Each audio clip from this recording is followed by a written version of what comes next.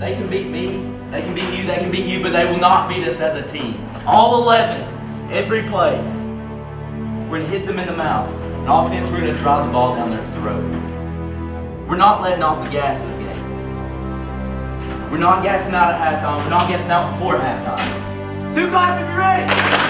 Two claps if you're ready. One, two, three, No Being perfect is not about that scoreboard out there. It's not about winning. It's about you and your relationship to yourself and your family and your friends. Being perfect is about being able to look your friends in the eye and know that you didn't let them down because you told them the truth. And that truth is, is that you did everything that you could. There wasn't one more thing that you could have done.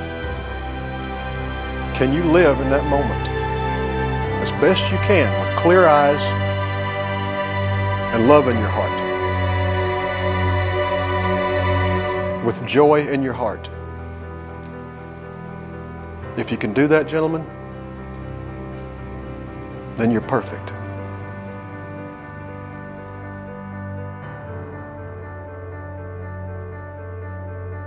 Our Father, who art in heaven, hallowed be thy name. Thy kingdom come, thy will be done, on earth as it is in heaven. Give us this day our daily bread. Forgive us our trespasses, we forgive those who trespass against us.